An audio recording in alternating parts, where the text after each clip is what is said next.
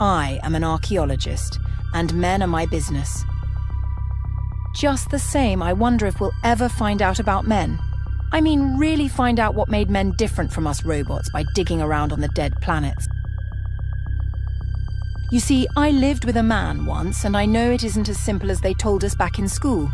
We have a few records, of course, and robots like me are filling in some of the gaps, but I think now that we aren't really getting anywhere. We know, or at least the historians say we know, that men came from a planet called Earth.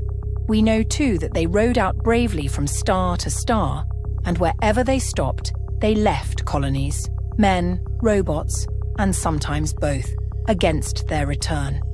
But they never came back. Those were the shining days of the world. But are we so old now?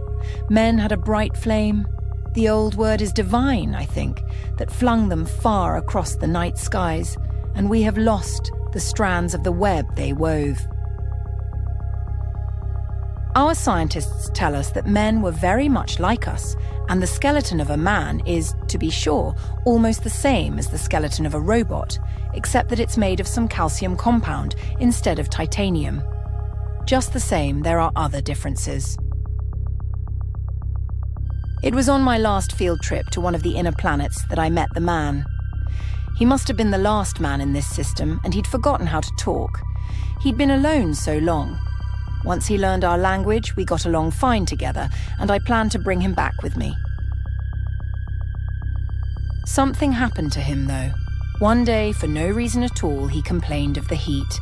I checked his temperature and decided that his thermostat circuits were shot.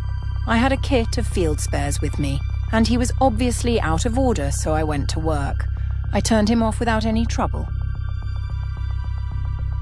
I pushed the needle into his neck to operate the cut-off switch, and he stopped moving, just like a robot.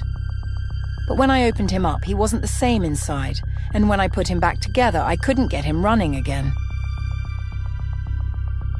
Then he sort of weathered away, and by the time I was ready to come home, about a year later, there was nothing left of him but bones. Yes, men are indeed different.